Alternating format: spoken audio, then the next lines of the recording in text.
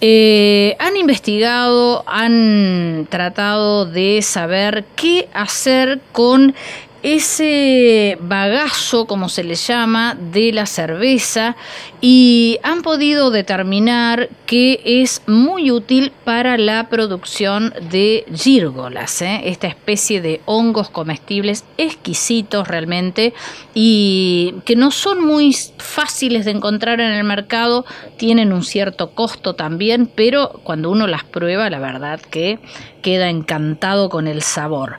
Bueno, desde el centro PYME Adeneu han hecho todo un proceso de investigación eh, hasta llegar a la conclusión de que eh, todo este eh, bagazo de la cerveza es útil para la producción de círgolas. Vamos a hablar con quién estudió todo este proceso y llegó a esa conclusión. Cristian Starik, del programa de hongos comestibles del Centro PYME Adeneu. Cristian, muy buenas noches. Lucy Pisni te saluda. ¿Cómo estás? Buenas noches para vos y para toda la audiencia. Bueno, a ver, contanos, vos has eh, hecho toda una investigación para el uso de eh, estos desechos, estas sobras que quedan una vez que se elabora la cerveza artesanal y, has podido determinar que ese bagazo sirve para reemplazar eh, otros, otra, otra materia que se utilizaba para la producción de círgolas, ¿no? Sí, sí, es, es un trabajo que hemos llevado adelante con el equipo de técnico de trabajo del laboratorio del programa Hongos Comestibles. También me acompañó en el desarrollo la ingeniera Nair Navarro. Hace aproximadamente dos años que empezamos a ver eh, la posibilidad de, manipular de alguna manera este residuo para poder adaptarlo y llevarlo al uso de la producción de hongos comestibles. Así que sí, hace un tiempo bastante largo que empezamos a trabajar con eso. Yo recuerdo que en una de las expo, expo cerveza en Aluminé, hace alrededor de dos años, presentamos la idea y ya eh, sobre fines del año pasado pudimos, después de largas investigaciones, cerrar lo que nosotros llamamos un protocolo de uso del bagazo de malta cervecera para la producción de, de la producción de hongos comestibles. Eh, porque lo que se utilizaba más era la viruta de álamo. Sí, sí, históricamente, por decirlo de alguna manera, la producción de hongos se divide en dos, dos, dos, sistemas. La producción de hongos sobre troncos, que para eso se usan troncos de álamo, pero después tiene la producción de hongos sobre sustrato, en la que se usan residuos de origen vegetal. ¿sí? por decirlo de, una manera amplia, y lo más usado es lo que vos decís, es la viruta de álamo, lo que se usó históricamente. Pero eh, nosotros, desde el programa Hongos Comestibles, desde el laboratorio, siempre estamos investigando el uso de otros residuos de origen agroindustrial como puede ser eh, eh, el orujo de peri de manzana, los restos de poda, el mosto de las bodegas, todo lo que son residuos de origen industrial siempre los estamos investigando y hace un par de años con este boom, con este estallido del crecimiento de la producción de cerveza artesanal, empezó a surgir esta demanda, ¿qué se puede hacer con este residuo? Y bueno, es así que eh, nos costó bastante porque no es un residuo simple de trabajar, tiene ciertas complicaciones, hay microorganismos como bacterias que son difíciles de eliminar, que compiten con el hongo que uno quiere cultivar, tiene, tiende a fermentarse, tiene muchas azúcares libres, entonces hay un procedimiento que nos llevó un tiempo de ajustar y que bueno, a partir de eso logramos eh, eh, digamos, doble, torcerle el codo, como quien diría, al, residuo para poder utilizarlo para el cultivo de hongos. Y, todo ese proceso que tienen que hacer eh, para equilibrarlo, digamos, y que no afecte el hongo, eh, ¿afecta eh, en la parte económica? ¿Es rentable utilizar entonces este desperdicio de la cerveza o es mucho más económico seguir con la viruta de álamo? No, no, es, totalmente, no, no son, digamos, el proceso en sí son digamos, etapas, pasos que hay que cumplir, pero que no significan un incremento en el costo de producción ¿sí? del, residuo como tal para que quede listo para ser usado para, para el cultivo de hongo. Hablamos de eh, una especie de compostado, el, compostaje es algo que por ahí mucha gente conoce, que está escuchando ahora, que es eh, darle humedad y ventilar un poco el residuo, eh, mezclarlo con algo que le dé un poco de, digamos, de entrada de aire.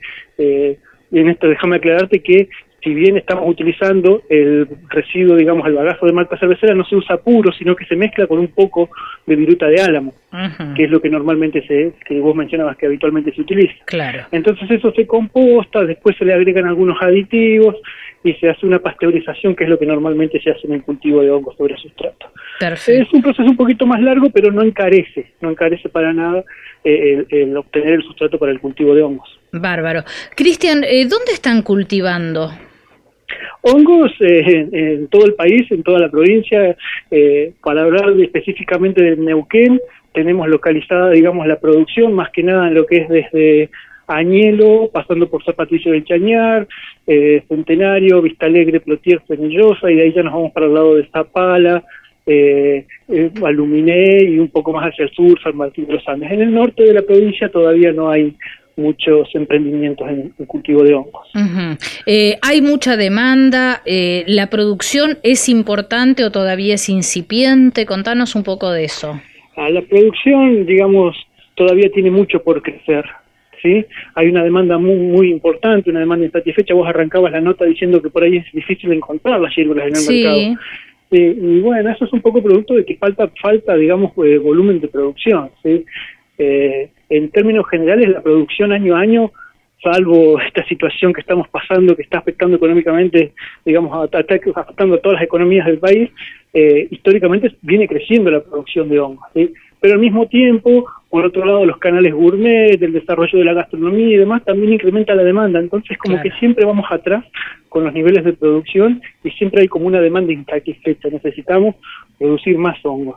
Claro, porque e, es un tipo de hongos que es un plato en sí mismo, digamos, ¿no? Porque hay otros hongos que se utilizan en salsas, en escabeches, o sea, siempre van acompañados este, de algún otro ingrediente, se usa para saborizar, pero la gírgola, digamos que es, e, es un tipo de hongo que combinado con algunas otras cosas, eh, realmente armas un menú espectacular. Exactamente, tal cual. Funciona como un plato en sí mismo, es decir, desde hacerse una milanesa de gírgolas, hacerse empanadas de gírgolas, eh, hasta usarlo como un aditivo, un polvo de gírgolas que uno le puede aderezar, digamos que puede sazonar una, una sopa eh, con, con polvo de gírgolas, digamos, es realmente un producto muy, muy versátil que tiene, desde el punto de vista culinario, una gran, eh, digamos, variedad de usos. ¿sí? yo, no sé, podría estar un rato largo eh, comentándole desde que se pueden hacer hasta, por ejemplo, dulces, se pueden hacer eh, eh, embutidos, se pueden hacer hamburguesas, se pueden hacer, bueno, salsas.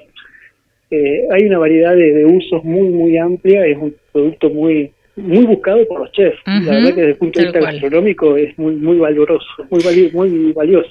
¿Es un producto estacional o lo podemos encontrar todo el año?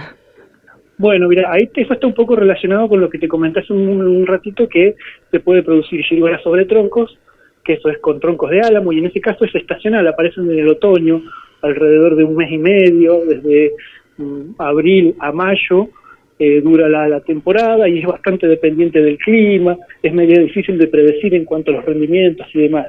Ese, ese sistema es estacional, ¿viste?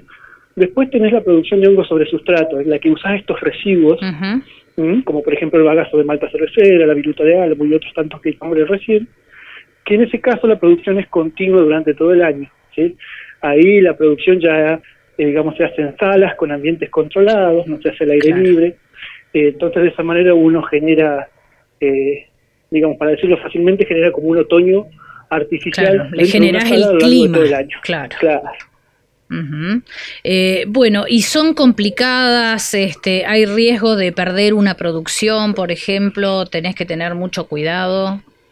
Bueno, eh, para la producción de hongos sobre sustratos hay que tener capacitación, hay que tener un seguimiento. Nosotros eso lo hacemos de forma gratuita y sistémica eh, con todos los emprendedores y productores que quieran llevar adelante la actividad en la provincia. la producción de hongos sobre sustrato necesita un, acompañamiento, un seguimiento hasta que el productor eh, ya se larga solo y bueno maneja la, la técnica sí eh, la producción de hongos sobre troncos es mucho más simple por ahí con una capacitación un curso una charlita uno ya puede eh, producir hongos sobre troncos con bastante éxito Bien. Cristian, ¿dónde podemos conseguir en, en, el mercado habitualmente la producción de la región? Bueno, hoy por hoy está complicado por el tema de cómo ha afectado la, comercialización, digamos, la pandemia y la cuarentena a, los productores. La comercialización se ha movido mucho a lo que es eh, mercado puerta a puerta, mercado a través de redes sociales y contacto directo con los productores. ¿sí? Eh, yo lo que nosotros habitualmente hacemos es eh, comentarle a la gente que pueden entrar a la página web del Centro Pyme de en donde está la página de alimentos y está el contacto de todos los productores de hongos que hay en la provincia para que para poder digamos encargarle eh, producto a ellos y poder eh, adquirirlos así de esa manera Perfecto. Eh, pero hoy por hoy el contacto es directo con el productor y la forma más fácil es a través del Centro PYME, a través de la página web del Centro PYME. Bien. Bueno, Cristian, ojalá que además pronto puedan volver eh, esas mini ferias que, que ustedes montan aquí en, en el centro de Neuquén, esas globas donde uno entra y se encuentra con una serie de exquisiteces, este, entre ellas los hongos, por supuesto, bueno, mieles, eh, aceite de oliva, tantas cosas que se producen en esta provincia y que por ahí uno las, las deja pasar de largo y compra otros productos más industrializados y la verdad que eh, tenemos este, productos artesanales pero exquisitos. De calidad. Sí, de, mucha calidad. Sí. sí, ojalá, ojalá que prontamente podamos volver a, trabajar eh, de la manera en que lo veníamos haciendo habitualmente y poder tener, porque esto de, todas maneras ha afectado, ¿no? Pero bueno, esperemos que, que rápidamente podamos volver a la normalidad. Claro que sí. Bueno, Cristian, ha sido un placer charlar con vos, eh, poder conocer un poquitito más de, de, algo que también se produce en la provincia, de una especie de hongo que por ahí no es tan conocida, pero que es riquísima. Aquel que la prueba una vez seguramente va a querer volver a comer. Y bueno, eh, es la manera también de incentivar este, la demanda y la producción, por supuesto. Bueno, Lucía, te agradezco a vos, que parte de Anaí Navarro también, como te comentaba, la colega que estuvo conmigo en la investigación, por darnos la posibilidad de, comentar en qué estamos trabajando y qué estamos haciendo desde el Centro PYME para el desarrollo de la actividad económica en la provincia y particularmente de, de la producción de hongos comestibles. Así es. Muchísimas gracias y éxitos y ojalá puedan volver pronto este, con todos sus productos a la calle. Gracias a vos, Lucía, muchas gracias. Hasta luego. Bueno, Cristian Starik, ¿eh? realmente eh, es verdad, en la provincia hay una cantidad importantísima de productores de, distintos productos y exquisitos todos, de muy buena calidad.